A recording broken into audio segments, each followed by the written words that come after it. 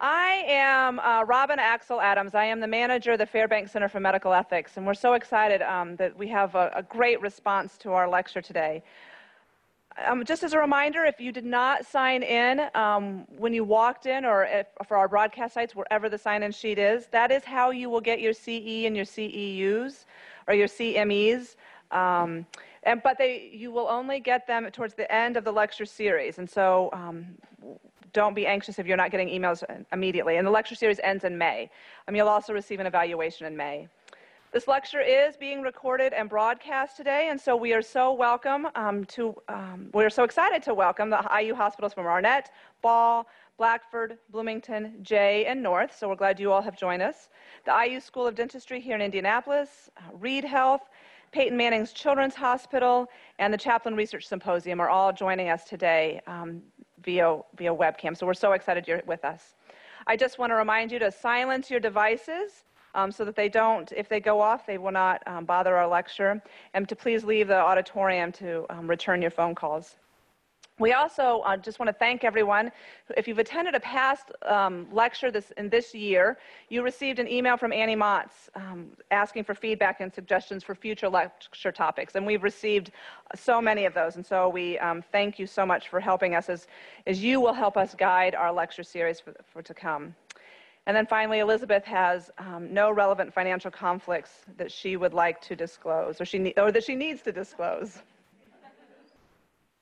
We're also excited about this lecture because it is a part of, uh, this lecture is a part of the series with the enterprise goals and thinking about um, how, we, how we think about behavioral health and mental health especially. And, um, and so we're excited to, again, partner with uh, the enterprise goals that IU Health and that IU School of Medicine have. So to provide an introduction, Elizabeth Boring is a, um, a social worker who's earned her master's degree, but she is the program manager for Hope in Healing um, Pediatric Bereavement Program at Riley Hospital for Children here at IU Health.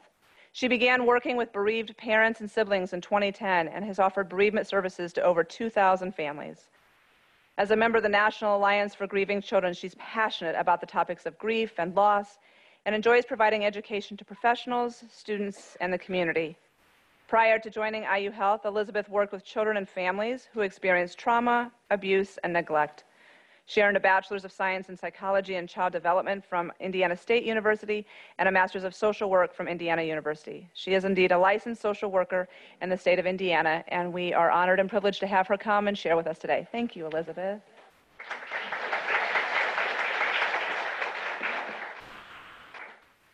Well, thank you all so much for being here. I'm super excited to see the turnout because I usually speak on topics that people um, are uncomfortable with. So this is really exciting to see everyone here today. We are indeed going to talk about, if I can get my clicker to go. Nope. I don't know where he went. So we'll go the old fashioned way, maybe. It seems to happen every month. Oh. Do you have a special? No, I don't. The last time I just started walking and it turned over. I have a special. I do. I do have a special.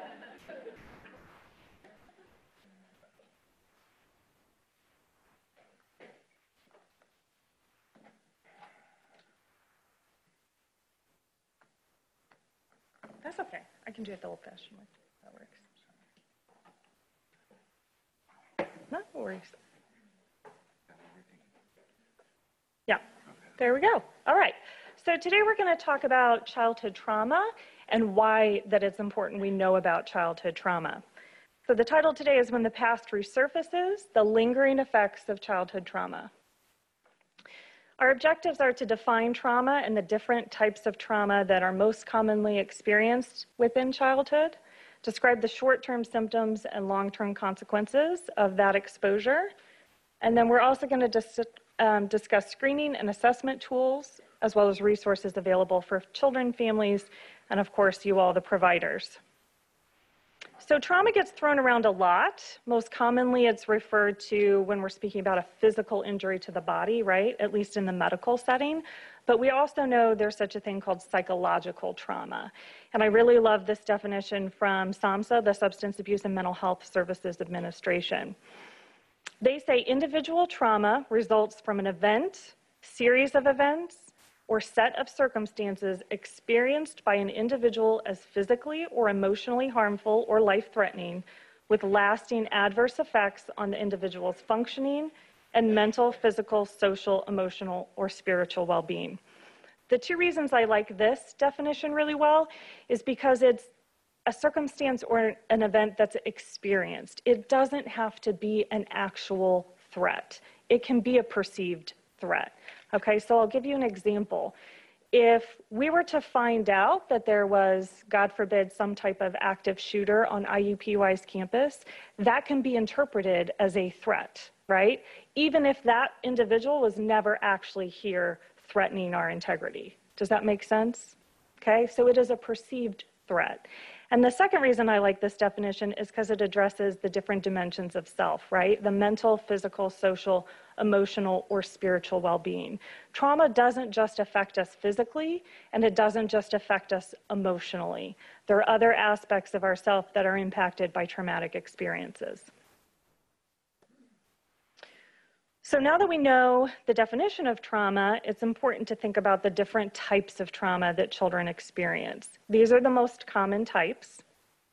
Physical abuse, sexual abuse, medical trauma, and that doesn't necessarily have to be inpatient. My um, poor daughter had to have a flu and strep swab this weekend, and she most certainly experienced that as traumatic. Um, and honestly, I was an adult when I had it, and it was traumatic. So it doesn't have to be um, an inpatient procedure for someone to experience that as traumatic. Any early childhood trauma, so this usually occurs within zero to six years. These are the types of traumas that they may not have the recollection that it ever happened, but it did happen during their lifetime. Traumatic grief, which tends to be the world I work in. Refugee trauma, placement in foster care, institutionalization, or incarceration. Complex trauma, which is multiple exposure. So those are the kids that are exposed to more than one type of trauma. Separation due to divorce or perhaps deployment. Bullying, community violence, disasters, and then we have terrorism and violence. So these are different types of trauma that kids can experience. And by no means is this a comprehensive list, right? So kids can experience other types of trauma, and it can be very real for them, even if it's not identifiable on this particular list. For example, I moved um, from California to Indiana, and certainly that was a traumatic experience for me. not just the weather, but the culture is very different. And I left everything I knew back there when I was a kid, right? So that was not um, an easy experience for me. That wouldn't necessarily fit into one of these categories. Fortunately, I had protective factors, which we'll talk about later. So when we talk about the different types of childhood trauma, it's usually referred to in terms of adverse childhood experiences. Is anyone familiar with the ACEs tool? Right? So it's really popular, it's well known now. Um, and the ACEs tool talks about the events that kids experience that then have long term consequences, okay?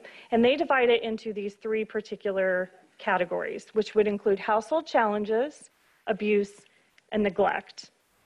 The abuse and neglect are pretty self explanatory, so I'm going to focus on the household challenges, and that includes witnessing intimate partner violence, sometimes referred to as domestic violence, substance misuse within the household, doesn't have to be a parent, it could be a sibling or an extended family member, someone living in the home, mental illness within the household, parental separation or divorce, and then incarceration of a household member. And the interesting thing is so the original ACE study was done in 1998 or published in 1998 and it predominantly focused on a, um, so it was done through Kaiser Permanente, and it predominantly focused on white, kind of middle class suburban individuals. So they completed the survey while they were at their primary care physician's office. And um, there are some limits to that, right? Uh, it's not encompassing of the general population at all. So in the original study, they found that 64% of respondents had experienced at least one of these, one ACE, okay? In a 2013 study from the University of Illinois Chicago found that 80% of people of color have experienced at least one ACE, right? So it's important to know that this is not um, universally applied. It's not something where you can say, oh, this study is great, we know this happens. You have to take into context the environment in which people grow up in and systematic injustices as well that contribute to people experiencing traumatic events in childhood. Okay, does that make sense? Okay. So this is a really neat little demonstration of the most common experiences within these different categories. So when it came to ACEs under abuse, the most common type that a child experienced was physical abuse at 28%. The ACEs and household challenges, the most common type was substance abuse within the home, followed not too far behind by separation and divorce. And then the next um, category, neglect, the most common was emotional neglect. And the interesting thing about this to keep in mind is so lots of people could raise their hand and say, like, oh, like we had a dysfunctional household, right? This, what this illustrates is it's not that you had odd things in your household or maybe your parent wasn't the greatest. It is chronic toxic stress. It is that it never alleviates. So you can see the substance abuse. I have worked with a family and um, the father is Uh, really struggles with alcoholism. The kids come home from school and ask mom, Has dad been drinking today? It's not a safe space in the home. Every day there's constant anxiety and toxic stress that the children are trying to navigate through so they can make appropriate coping decisions, right? That's the big difference. It's not that odd things happened or that your parents divorced, is that it was chronic stress when it comes to household challenges. So then when we talk about um, ACEs, I think it's important to know how prevalent this is because that really influences why it's important to talk about in the first place, right? If this weren't common, maybe it wouldn't be such an important topic. But unfortunately, it's extremely common. We talked about the 2013 survey that found that 80% of people of color have had at least one ACE, right? Well, there was a 2011 national survey of children's exposure to violence, which included children from one month to 17 years.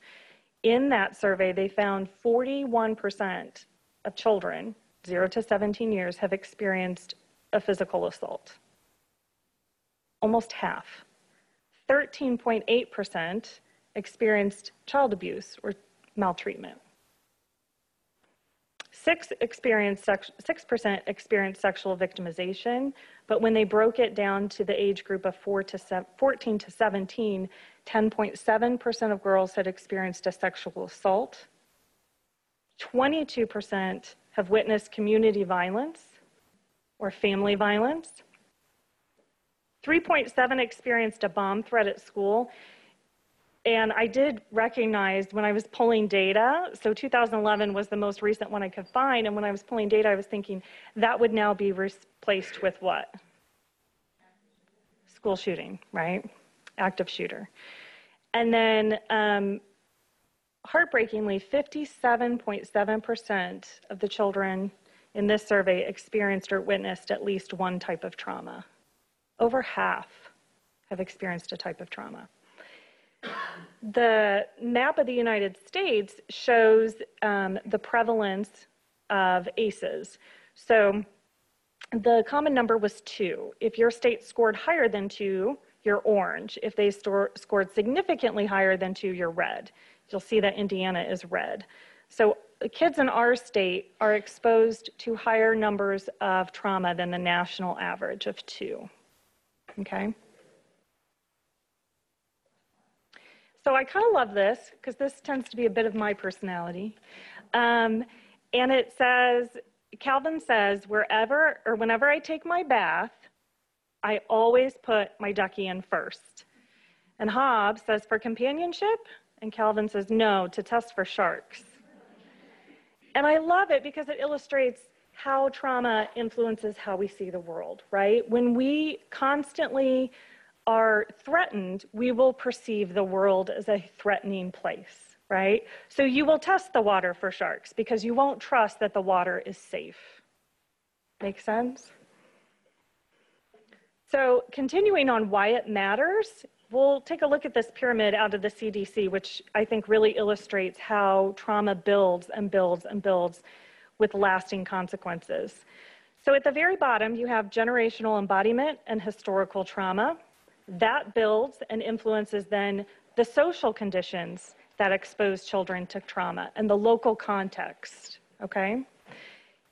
On top of that, you have adverse childhood experiences. So if you see this generational embodiment would mean that there's generations of trauma, generations of um, racism, violence, those type of things. That creates social conditions that are ripe for adverse childhood experiences.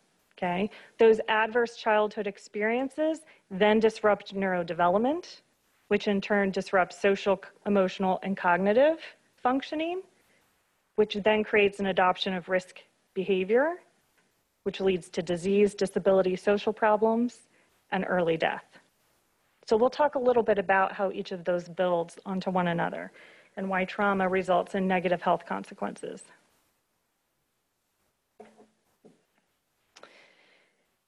So there are some short-term symptoms of childhood exposure, and these are if a child encounters trauma, this is what you might expect them to be exhibiting, okay? They might have difficulty with self-regulation, so this would be maybe a low frustration tolerance, um, they get agitated very easily, or something that you wouldn't expect to upset them, maybe would expect them, and it's a very big reaction. They might have difficulty eating or sleeping, they could express um, some physical symptoms. So they might complain of pain. They might have nightmares or really intense emotions. And that's not always negative emotions. They may seem um, really excited about something that doesn't necessarily make sense. They're kind of exaggerated emotions, if, if that um, illustrates it. They could have some depression or anxiety symptoms they could regress. So previous developmental milestones may no longer be attainable for them. They may be um, several months or a couple years behind what they were doing. It's not uncommon for a child who's experienced trauma to regress to like baby talk, if that makes sense. And then they could have attachment changes. And this could be because their attachment figure is no longer trustworthy um, or it could be because their attachment figure is in the home that they no longer think is safe. Okay. So these would be some of the shorter term ones that we would really expect to see after a child experiences a traumatic event. And these aren't really that different from adults, right?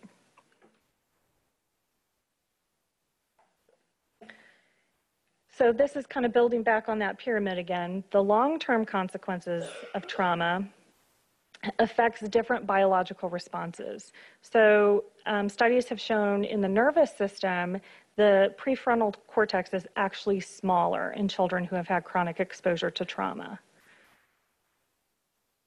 The endocrine system has chronic activation of the hypothalamic pituitary adrenal axis. That is our stress response system. So it's chronically activated. Remember the Calvin and Hobbes comment there's always a perceived threat, right? It's always activated because you're always waiting for that next threat. And then in the immune system, there's an elevated baseline inflammation level, an elevated inflammatory response to stress as well. So it actually impacts, and if we go back real quick, you can see, so these adverse childhood experiences disrupt the neurodevelopment. Okay, and when that neurodevelopment is disrupted, we then end up with social, emotional, and cognitive impairment. So here are the social, emotional, and cognitive impairment. Behavior changes. So um, some of the long-term consequences that certainly impact health is there's a lack of physical activity, smoking, alcoholism, drug use, and missed work and then those in turn result in physical and mental health issues, including severe obesity, diabetes, depression, suicide attempts, sexually transmitted infections, heart disease, cancer, stroke, COPD, and broken bones. So it's quite extensive what they've been able to link the ACE scores to these long term health out, outcomes, right? It's not just that someone might suffer from depression, it's not just that someone might have anxiety. It's also that they have physical health problems as a result of having gone through those ACE events, right? So when when we looked at that definition at the very beginning and it talked about the dimensions of self that were impacted by trauma, it mentioned physical, emotional, social, cognitive, and spiritual, right? And these are some of the ways that manifests long term. So there's also an impact from this chronic exposure, including the annual cost associated with child maltreatment is $1.3 billion. The lifetime cost, 401 billion. The annual cost, just the annual cost in North America on health outcomes related to ACEs is $748 billion a year. And something that I thought was very striking is the reduction in life expectancy. So, someone that scores high on their ACEs will have, um, on average, 20 years shorter life expectancy than someone who has a lower ACE score. Yeah. So high is anything greater than four. So it's zero to 10, um, and anything greater than four is considered high. Yep, great question. So now that I've depressed everyone with uh, all the consequences of trauma, it's good to note that there are protective factors, right? So clearly, my move to California didn't distress me such that I can't function um, because I had really great protective factors. And we need to we need to acknowledge that there are protective factors that communities and cultures have ways of protecting their um, residents, their family members, and their communities. So one of the one of the main protective factors is resilience, and that's the ability to stay calm and in control when faced with a challenge. Living in a safe neighborhood. So think about if if you have a lot of um, household dysfunction, right? So your ACE scores perhaps are from um, substance use in the home or um, inter or interpersonal violence, those type of things. You can see why living in a safe neighborhood then would be a protective factor because if you leave the home, if you go out and play, if you go to your neighbor's house, you're safe, right? Your home may not be, but your neighborhood is. You have a safe place to go. Likewise, attending a safe school is a protective factor. Again, if you don't perceive your home as a safe place or the people in your home as safe, having somewhere outside of your home to go is a protective factor. Parental monitoring so that involves really just an engaged parent, a parent that asks questions where are you going? Who are you hanging out with? What are you guys going to be doing?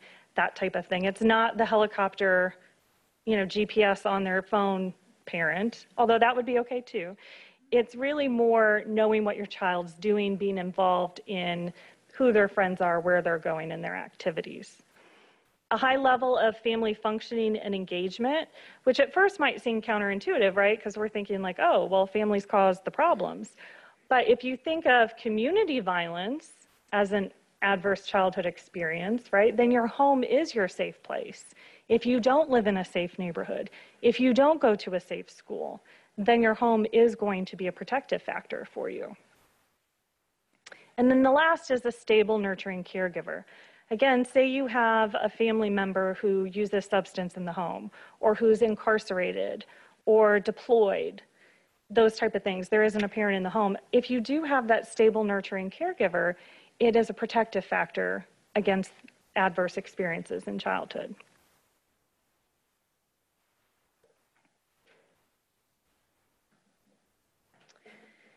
So this is kind of lengthy, but I absolutely love it. We have this um, this practice of kind of assuming that people need to process their experiences in a certain way in order to move forward. Sometimes people say talk, sometimes people say specific types of therapy. This comes up frequently um, with our grief families, in that families will often say, um, I don't think my child's grieving. I don't think they're processing what happened because they don't see their child exhibit an emotional response or they don't hear their child talk about their grief, right?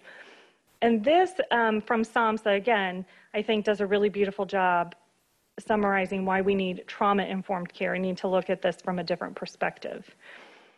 Survivors' immediate reactions in the aftermath of trauma are quite complicated and are affected by their own experiences. The accessibility of natural supports and healers, their coping and life skills, and those of immediate family, and the responses of the larger community in which they live. Although reactions range in severity, even the most acute responses are natural responses to manage trauma. They are not a sign of psychopathology. Coping styles vary from action oriented to reflective and from emotionally expressive to reticent. Clinically, a response style is less important than the degree to which coping efforts successfully allow one to continue necessary activities, regulate emotions, sustain self esteem, and maintain and enjoy interpersonal contacts. Indeed, a past major error in traumatic stress psychology, particularly regarding group or mass traumas, was the assumption that all survivors need to express emotions associated with trauma and talk about the trauma. More recent research indicates that survivors who choose not to process their trauma are just as psychologically healthy as those who do. The most recent psychological debriefing approaches emphasize respecting the individual's style of coping and not valuing one type over another. And the really important takeaway from this is two things. One, that just because someone's eliciting response to a trauma does not mean something is wrong with them, right? It is not inherently psychopath. Um, where is it? Not, not a sign of psychopathology because someone expresses their reaction to a trauma, right? The other piece is that people can cope and they can cope really well, even if it doesn't fit our narrative of what coping looks like, right? So, again, in the grief world, a lot of people assume that crying and talking about their loss is how someone processes it. That's different for a child. That's completely different. Sometimes children process it very, very differently, and it isn't helpful. It's actually more traumatizing to them to sit and talk about it over and over again, right? We inherently have a need to cope. And our kind of litmus test as to whether or not something, someone is coping well is are they functioning? Are they functioning well? Right, then they're coping well. So it says in here, too, clinically, a response style is less important than the degree to which coping efforts successfully allow one to continue necessary activities. That should be our benchmark. Is this person functioning well, doing what they need to do? Then they're coping well, right? Even if it doesn't fit our narrative of what coping might look like. Okay?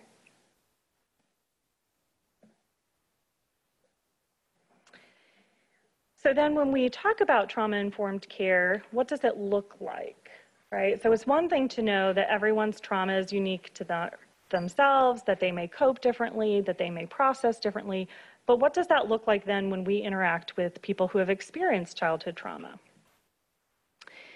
First, it's safety. We need to ensure physical and emotional safety. Second, it's choice, that the individual does have some control some choice and some control. The third would be to collaborate and share decision making power. The fourth is trustworthiness, task clar- clarity, consistency, and interpersonal boundaries. And then the last is empowerment. And you can see why so many of these are important, right? If someone doesn't feel safe, they don't feel like they have choices. They don't feel like they can trust the person working with them right? That is why it's the very first one. They have to feel safe in order to then continue on, make good choices, collaborate with their healthcare team, trust that the treatment plan is going to work, and feel empowered to make further healthcare decisions for themselves. So these give a few examples of um, how it would look in practice. Right, so for safety, the common areas are welcome and privacy is respected. For choice, The individuals are provided a clear and appropriate message about their rights and responsibilities.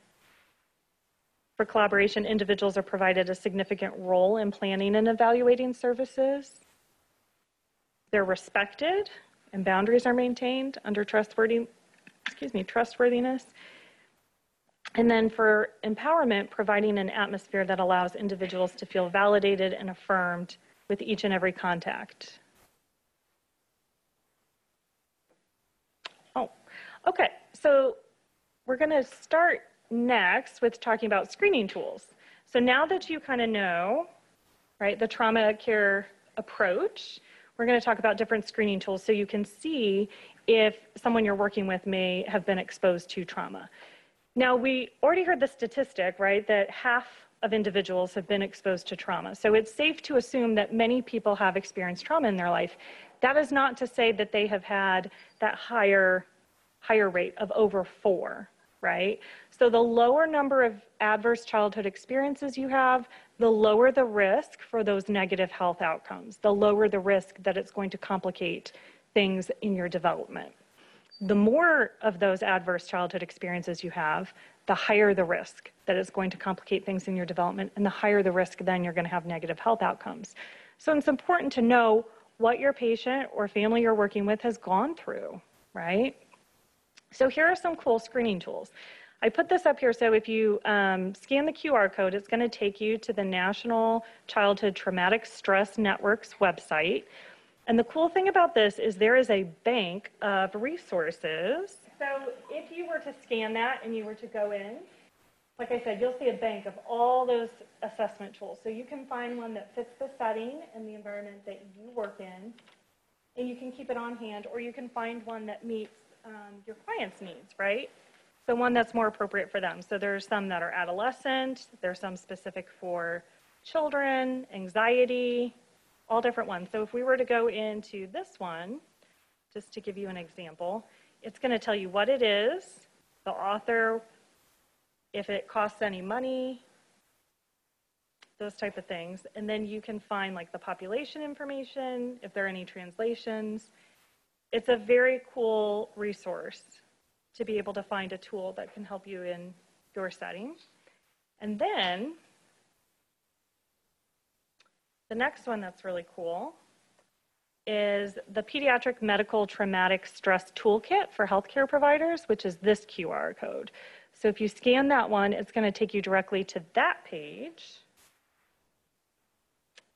And it is an entire toolkit that you can use um, in a pediatric medical setting. So having a child in the hospital is inherently traumatic, right? That is not a normal experience for people. And so it's important for us to recognize that the families we are working with are actively in, engaging in a traumatic situation for them. Even if everything is going well, it is not normal for them to be here. It is not normal for them to see their child needing medical care, okay? Um, I spoke with a mom, and this was really interesting. Her um, child fortunately survived cancer. And he um, was very young at the time he was diagnosed and went through treatment. So he was, I think, around one when he was diagnosed and finished treatment closer to two or three and is doing great. He's 11 now, doing really well. But she talks about the trauma they endured and that they don't feel like they have a place for it because he survived.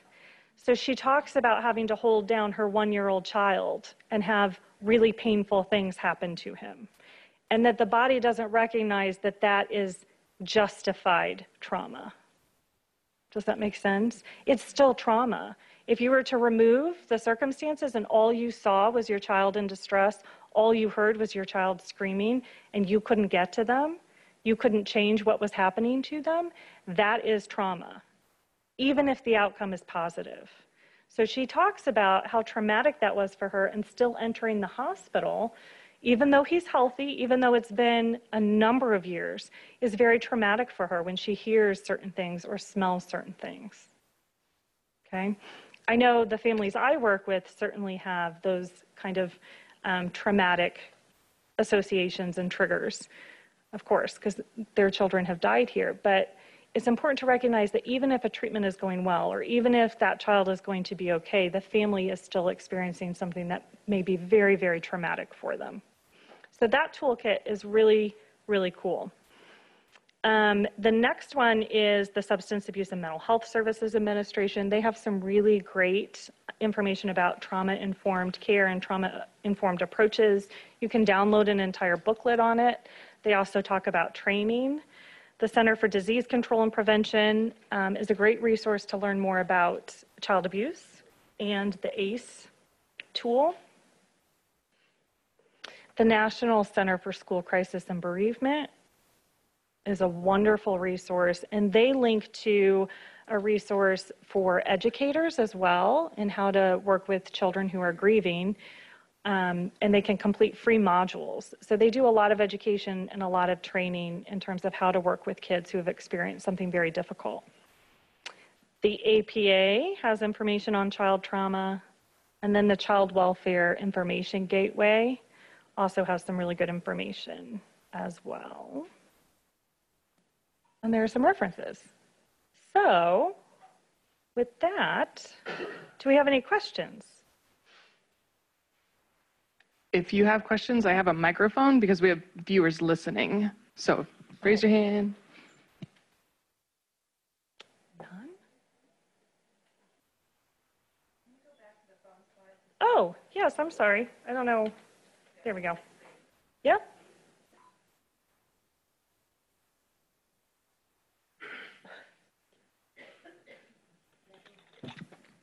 Uh, Thank you so much for that. My name is Brian Leland. I'm the Fellowship Director at FCME for our Clinical Ethics Fellowship.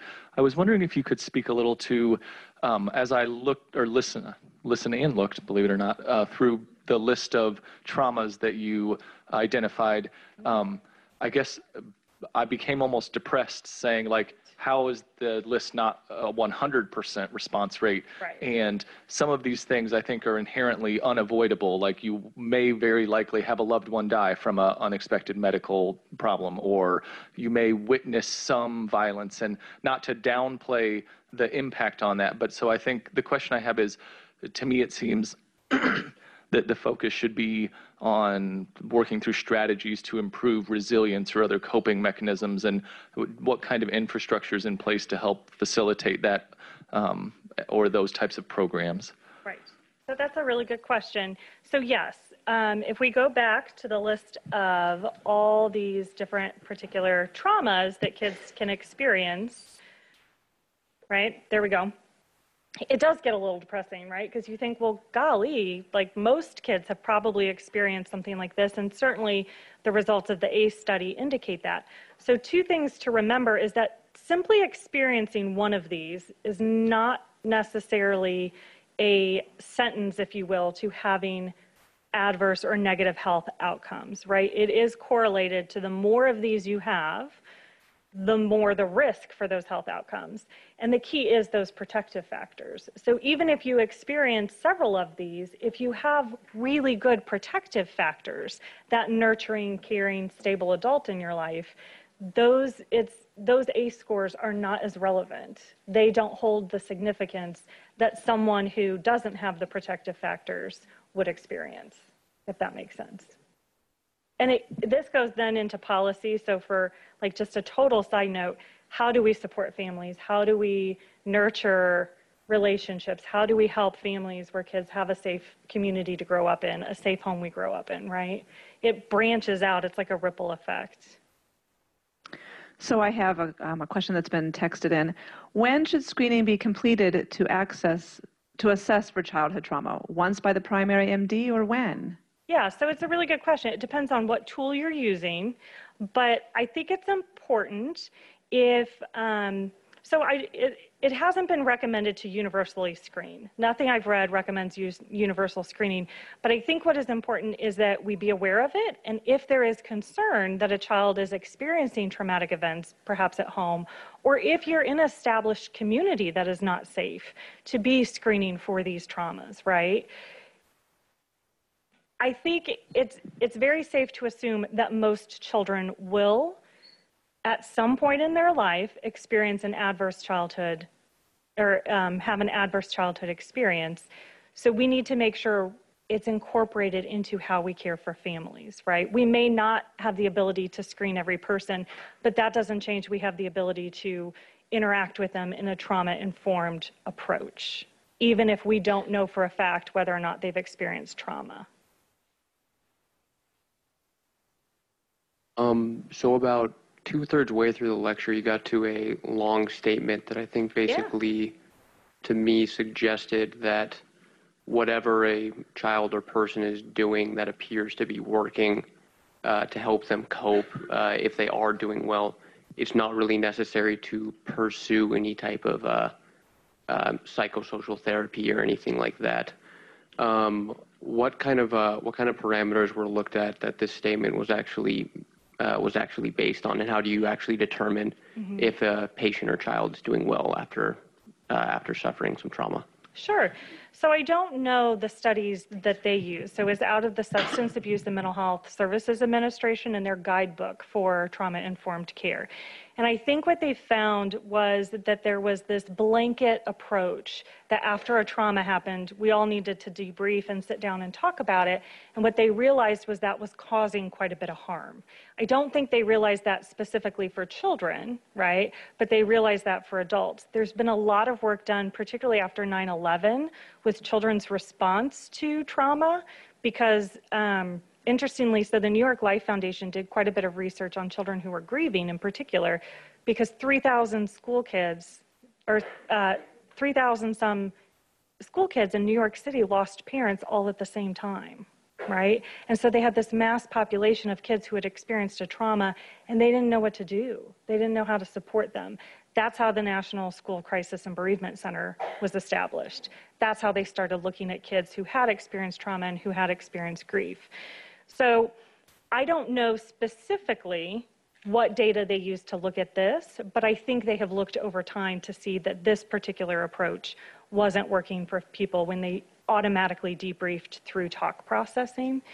The other thing is, it's not that any coping skill is appropriate. So if someone is self harming, or someone is disengaging from activities that used to bring them joy, if there is a distinct change in their behavior, then that would indicate that they're not functioning, right? They're not coping well. I'm sorry if you said this and I missed it, but um, this screening is just for kids, or would you ever give this to adults? So there are um, there are screenings for adults, and the ACE tool actually is specifically for adults. So the adverse childhood ex, um, experiences is given to adults, and they indicate what ACEs they had experienced as children.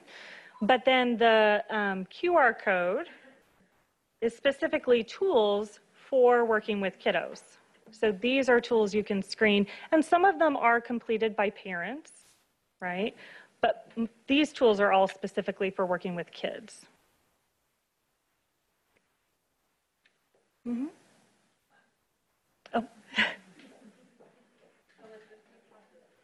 Oh, I'm so sorry. I keep jumping. Yep. Hi, my name is Sister Catherine. I'm a mental health practitioner in private practice, and I always try to get my ethics through this, uh, through IU, so it's great. Um, I'm glad that you unpacked that slide about trauma informed care because I was getting a little concerned about it. So it looks really different from chronic ongoing stress in the home. Because with my adult clients who have suffered from that, the biggest wound is not having it acknowledged. Right, right. So I think the difference is between giving a space for someone to identify what is trauma to them and give them that space versus saying you have to process it in order to move forward, Right. right? And also in terms of assessing for functioning post trauma, it's lifetime. Yes, It's absolutely lifetime. It looks different in adolescence, in the middle years, when women hit menopause, stuff can come up that's been hidden since childhood. I mean, there's no time you stop assessing. sure. And sometimes people can function really well and then say they become a parent. And some of those past traumas come up for them because that isn't something they have found a place for yet. They haven't Exactly. processed, right? Thank you. Hi, I'm Jane Hartsock. I'm the Director of Clinical Ethics. I have a question that's maybe like overly specific, but I'm just curious what your thoughts are or what the research on, is on this. But your comment about the um, bomb scares now being active shooters, um, I'm wondering.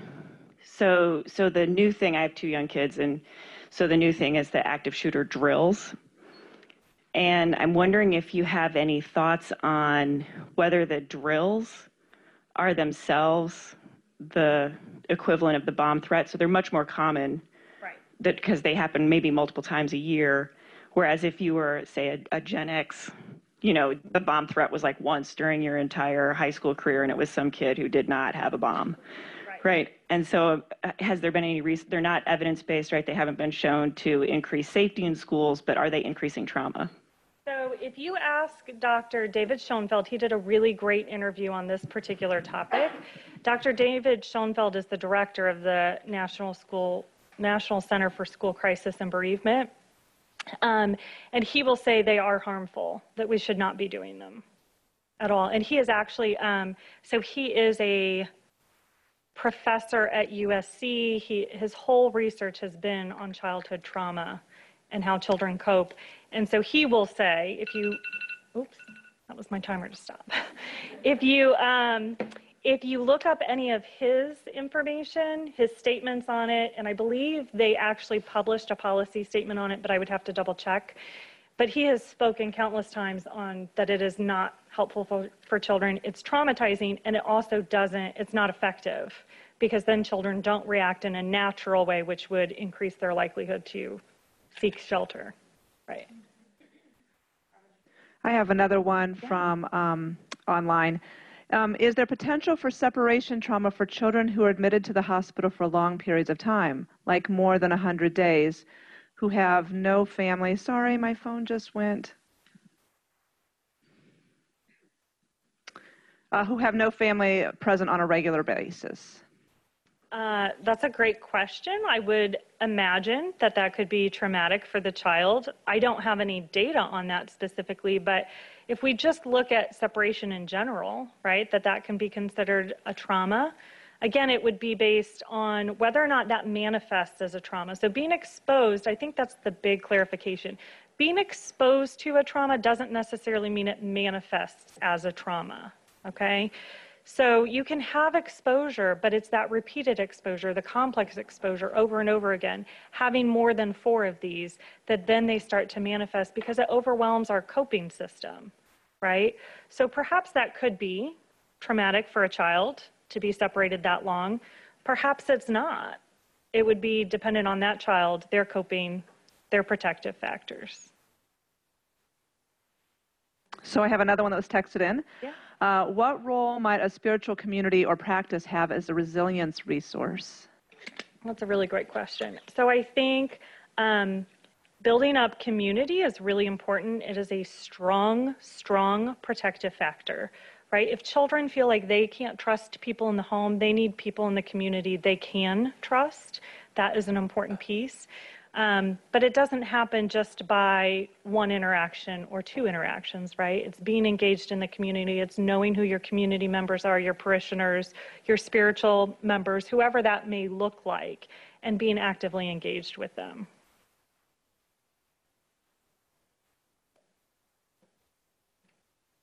Okay.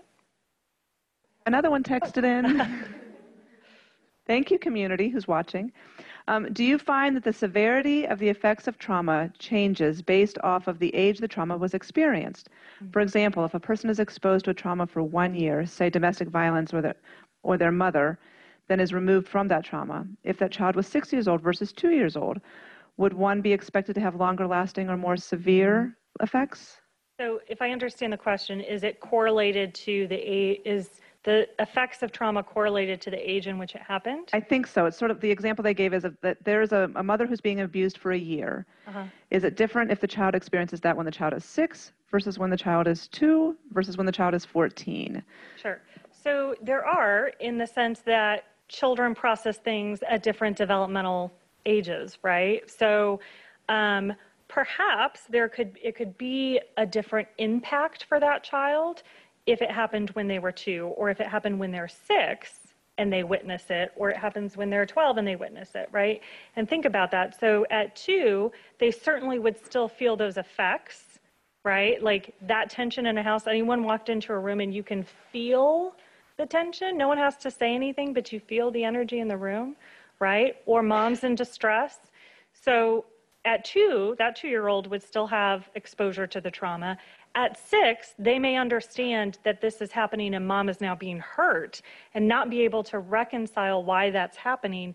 At 12, perhaps that person then feels guilt for not being able to step in. So it's hard to um, paint a broad brush and say, yes, this is going to impact people at a certain way at a certain age. But I think based on just developmental stages and someone's developmental um, where they are to, to process what's happened, to understand what's happened, sure. Yeah. Mhm. Oh,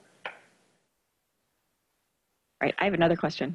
Um, So, uh, in, in the map that you showed, where different states had different rates of um, adverse childhood um, experiences, do you have any hypotheses as to why Indiana is so high?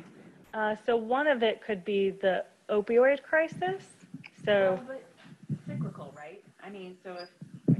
uh-huh. Sorry, so so, this was a snapshot. Okay. I believe it was a snapshot in 2014. because my hypothesis would be that the opioid crisis is in part related to adverse childhood events. Well, sure. yeah, so it's a vicious cycle, yeah. Um, so Indi- I mean, Indiana, yes, there are higher rates of poverty. There's higher rates of, of a lot of things that can contribute to adverse childhood experiences. Sure. Um, my guess that particular one, if you're only looking at like drug use or exposure in that snapshot, that would probably be my guess. Oh, previous comment about um, does it make a difference the age of the child?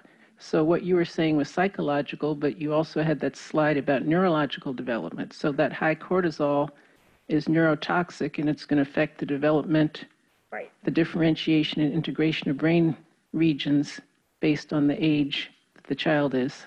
Yeah. So the younger, the worse, from the neurodevelopmental perspective. Uh, sure, except, um, so there are factors. Yes, absolutely. There are, if you go back to that pyramid, right, and you see that certain, um, uh, let me go back to the period. I'm going to move this slide really quick. Second. Okay, so if you look at this generational embodiment, impacts social conditions, which in, impacts the adverse childhood experiences. Absolutely. It's, I think the important takeaway is, again, just because a child at two has experienced this doesn't mean they will then have atypical neurodevelopment, right? So I caution someone from making the leap of, oh my gosh, they've experienced domestic violence, now they're going to have XYZ, right? Or they've been exposed to that. So that's my caution. Absolutely, it can impact it, the age can impact it. But just having experienced it at two doesn't mean that you will then have this, if that makes sense, right? Yeah, it's not deterministic. Right, yes, right. All right, got one more. Really good questions. You mentioned that um, this isn't a universal screening tool, but I wonder how these, do you know how these um, studies impact patient provider communication for adults who aren't experiencing their childhood trauma anymore? Can you clarify that? Sure. So um, I know that the ACEs is for the surveys for adults. Uh-huh. Um, how, in a clinical setting, does it come to fruition, I suppose? Oh, I see. Okay. So most commonly, ACE tools have been used in like um, therapy, right? So if someone is seeking some type of behavioral mental, mental health care, um, sometimes in a, like a spiritual advisor, if they're trained, they might know for sure. Um, I am not as familiar, with the exception of the specific studies, with it being administered in like a primary healthcare setting.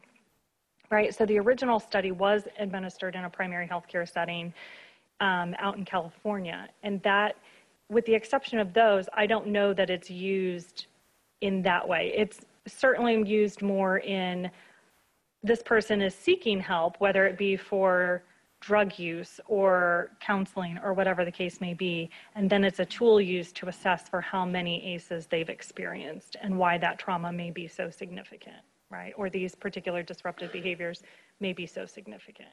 But aside from those studies, I don't know of it being used in primary health care. I think it would be great, clearly, because it, it impacts physical health, it impacts biology. So I think it would be wonderful. Yeah. So Elizabeth, I think this is um, all we have for time. I do have a question that we um, we should ask proactively. And Are you? Is it okay if we just share the slides? Are you Oh, okay with that? All right. course. So if anyone would like the slides, feel free to um, email fcme at iuhealth.org. That's Fairbanks Center for Medical Ethics, FCME at iuhealth.org. If you also um, would like to ever share with anyone these lectures, they are also on our website. Give us a couple of weeks to get this lecture put on our website, but you can also share this out. So fcme at iuhealth.org. Elizabeth, thank you so much. Thank you.